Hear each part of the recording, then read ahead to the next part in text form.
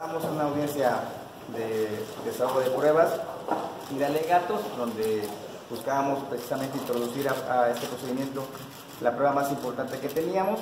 Se logró introducir y sorprendentemente nuestra contraparte hizo suya esa prueba, con lo cual permite que ya esté integrada para valoración por eh, la, la instructora. Y bueno, estoy contento, estoy tranquilo y este, se suspendió porque mañana se continúa a las 6 de la tarde, pero ya más datos se puede dar aquí mi abogado. Señor, el, el, abogado, el abogado Reyes Peralta decía, y si es la misma prueba, es decir, que esto destruye prácticamente todo, todo, el, todo el proceso que usted ha, ha, formado como parte de su defensa.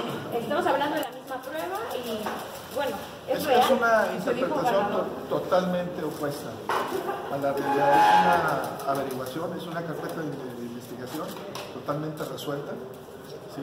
donde ya fueron valorados todos los medios de prueba ahí. O sea, son los mismos hechos. Él acusa que se, que se exoneran, digamos, eh, por parte de la misma fiscalía. Eh, a partir de las denuncias penales que se presentaron en contra del fiscal, que la misma fiscalía se exonera, entonces el argumento que tienen es pues que eh, se están, digamos, limpiando ustedes y pues procede por ello el la juicio político. La autoridad competente en ese momento que tenía que conocer sobre los hechos resolvió objetivamente de acuerdo a las constancias. ¿Qué fiscal fue? ¿Nos podría comentar el fiscal eso? anticorrupción. ¿Ese sería Marco Seven, el señor Marco Seven Torres Zamudio o, o... ¿Sí? Sí. Bien. El abogado Reyes Peralta se dijo ganador Yo creo que le toca aquí a la, a la comisión resolver, efectivamente. Hay que esperar. Eh, las pruebas ahí están. Eh, está la inocencia demostrada totalmente. Eh, las constancias son muy objetivas. Eh, hay una copia certificada de una carpeta que está siendo valorada aquí por la comisión del Congreso. Y no, no tiene ningún problema.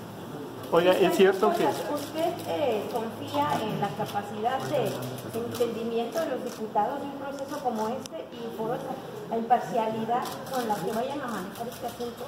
Mira, confío en la honestidad de ellos. Realmente eh, yo creo que son gente honesta.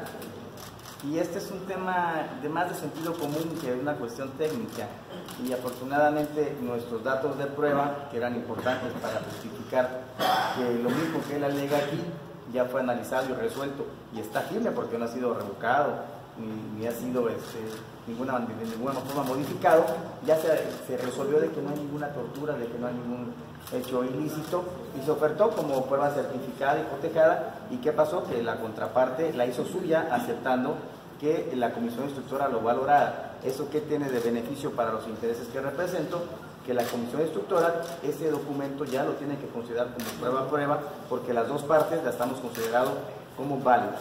Eh, yo espero que los diputados, eh, hoy hubo una exposición prácticamente total en audio y video del contenido de la carpeta y de por qué es inverosímil que esta persona de apellido Aguirre Garza diga que se le ponía música de reggaetón y que eso le generaba un malestar en su físico. Ya se terminó y se le explicó a los diputados conforme a los dictámenes, las declaraciones y los informes que se rindieron, que eso es inverosímil y en consecuencia no es procedente. Ahora, ya lo tienen ellos, mañana se darán los alegatos y después de esos alegatos la comisión tendrá que hacer fundada y motivadamente una determinación en donde por lo menos esa prueba tendrá que valorarla para establecer si es que ya una autoridad dijo que no hay delito y no hay responsabilidad, cómo podrían ellos decir que sí lo hay. Yo estoy tranquilo, confío, digo, es una cosa de sentido común, no hay que ser este, muy docto para comprender una resolución que se explica por sí sola y espero que esto pues se resuelva conforme a derecho. Fiscal, dos preguntas nada más, por favor. Eh, ¿Procedería en contra de los diputados en caso, digamos, de que avalen este juicio de desafuero y se determine pues que eh, no había elementos y aún así lo hicieron?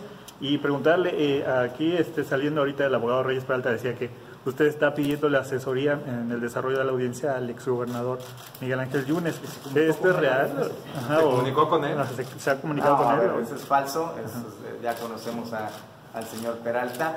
eso es mentira. Y segundo, bueno, no, no, quisiera yo adelantar nada, yo estoy confiado, la verdad se, se portaron los diputados eh, amables, atentos, estuvieron al pendiente del desarrollo de esta diligencia, este, contaron ellos con sus asesores que les estuvieron eh, guiando conforme a las reglas que rigen este tipo de asuntos. Y todo salió la verdad muy bien, se hizo un poco largo en relación a que hubo algunas objeciones, pero yo confío que el día de mañana va a ser mucho más ágil, eh, la audiencia de las 11 de la mañana y la continuación de la audiencia de hoy para las 6 de la tarde. ¿Y usted ya no tiene ninguna relación con Yunes?